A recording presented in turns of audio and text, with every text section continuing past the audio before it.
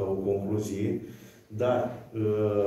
constat cu responsabilitate și după o analiză destul de atentă că avem un progres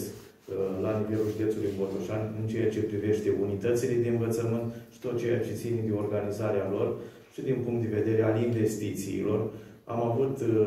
și avem în continuare diverse proiecte europene cu, sau finanțate cu fonduri guvernamentale la care primarii au accesat și deja încep să vadă aceste rezultate. Și, bineînțeles,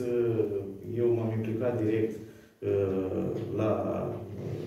domnii primari, la unitățile administrative teritoriale să acceseze toate aceste proiecte, să încercăm să schimbăm un pic uh, calitatea actului educațional în județul Botoșani. Și voi face același lucru în continuare. Prezentarea care v-a fost făcută de domnul inspector școlar a fost cât se poate de exactă, de reală, de transparentă, ca să nu existe niciun fel de discuții, să știm exact unde suntem, Uh, și ce putem îmbunătăți de aici încolo. Vis-a-vis -vis de unitățile de învățământ care au uh, în continuare acele toalete în curte, acele 20 de unități de învățământ,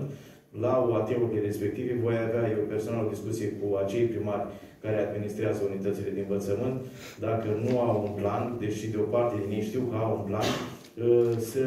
aloce fonduri și să investească, să construiască toalete în corpurile de, de școală. Dacă sunt alte întrebări, dacă sunt alte intervenții,